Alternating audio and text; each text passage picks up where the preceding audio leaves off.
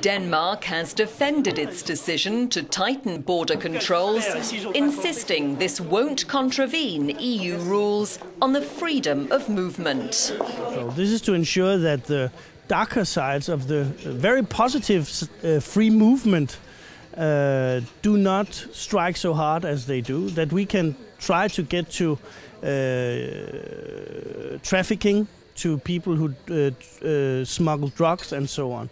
But while we keep the positive aspects of free movement.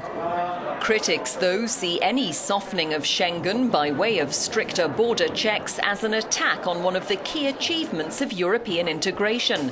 Copenhagen maintains it is sticking to Schengen's principles. People can move from A to B within Europe without being hindered. Uh, the other day, I was myself in London. Uh, which are outside that part of the Schengen agreement, and I was waiting for one and a half hour in, in, in, in the airport. I mean, we don't want to go back to those aspects. Our correspondent in Brussels says a lot of member states seem to want a watered down version of Schengen. The Commission should be able to avoid the worst, but how? That remains to be seen. We'll probably find out at the next European summit in June. Sergio Cantone, Euronews, Bruxelles.